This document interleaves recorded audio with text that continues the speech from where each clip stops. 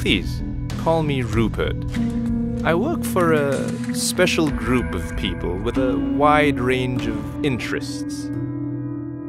Well, well, a CID superintendent traipsing around Chinatown in the wee hours of the morning. Sounds like a tabloid headline.